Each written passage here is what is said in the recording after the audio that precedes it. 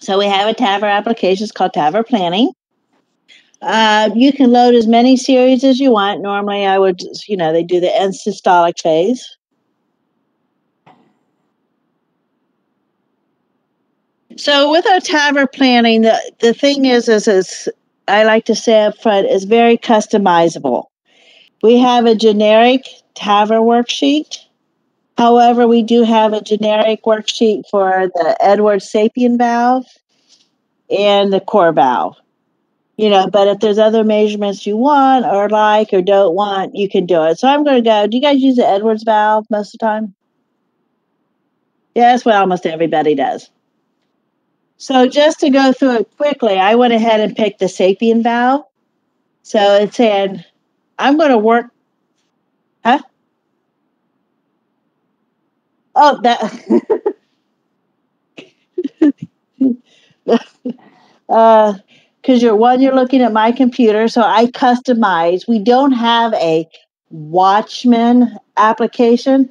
But I built one using this TAVR protocol because if I'm showing someone how to do some, you know, measurements for the Watchman procedure, I that's what I mean. It's customizable. I made one so it's easy for me to walk through it. So it can be done. I have people who make them for uh, pulmonary vein measurements. You know, they just kind of cheat and use the TAVR worksheet for that. But anyway, we can always circle back. uh, so the first thing you always is got to set your valve plane. So if I click valve plane, I come over to this axial image, and what I'm going to do is find the nadir of each cusp starting with the right. So see, here's the right cusp.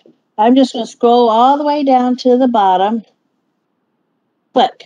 And then I'm going to do the same for the non-coronary and the uh, left. Click. Now this one's got a big hunk of calcium, so it's kind of hard, you know, I'm just going to say it's here. But as soon as I make that third click, do you see this um, purple line? So I can hit my space bar and make sure that I am at the very bottom of each cusp. So like if I think, ah, you know, maybe I'll move that one a little bit, you know, because, you know, everything's, all the measurements are based on where this valve plane is. I'm sorry, I didn't hear you. Yep. Yep.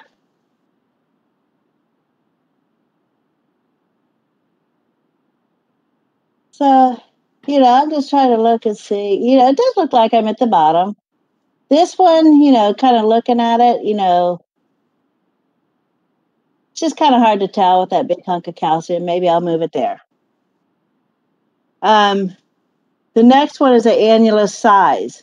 So I have mine. So when I double click in the annulus right here at this location, click, click, it'll automatically give me the area, the circumference, two diameter measurements, and then give me the average for that. Of course, if I think, you know, I really don't like to include that, I can always um, adjust it as well.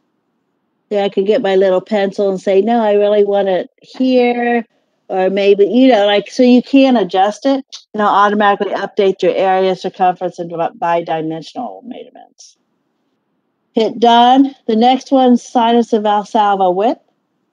So I just go up to my sinuses. I like to do three measurements left mouse drag, one measurement, left mouse drag, two, and then it'll give me the average as well. Hit done. And then, you know, so, uh, left, this is your sinus height. So it's, uh, it's from the sinotubular junction down. So you see where the left main's coming in? I'm going to click right at the sinotubular junction with a single click, and it will measure down to the valve plane for me. And then I like to just go to uh, left main height. So I go right at the bottom of the ostium for the left main. Single click, I'll do that measurement again for me.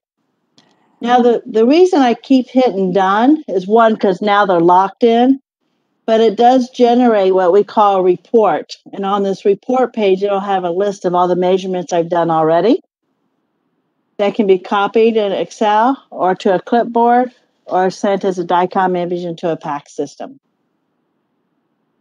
And then I can go back to my TAVR planning.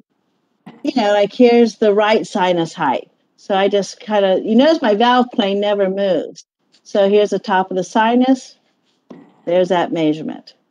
You know, so you, you can, uh, here's an LVOT measurement. So you kind of go down, you know, LVOT and double click. You know, there you go.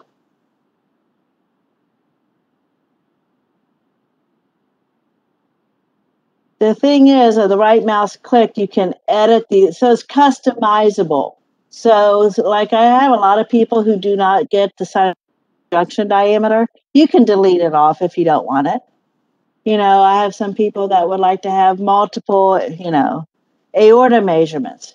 You can add new measurements and totally customize this for whatever um, you want. Right mouse click, edit the measurement list. So here's like here's the sapien. So I'll copy it, rename it. Let's see, yeah, right. Uh,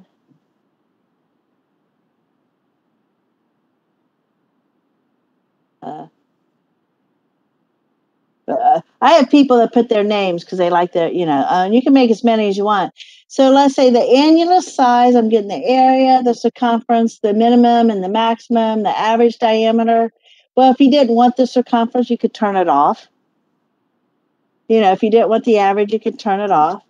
So you can see right now I'm getting the average diameter for the sinuses, but you have options. It just most people like to just do three, you know. But you can see you can change this, you can change the name of it. You can customize this to whatever you like. And then when you save it, so then when you open it, you would come down here and pick your list and have your own list. So it is kind of, I could spend some time, you know, showing you this, but um, I didn't know how you wanted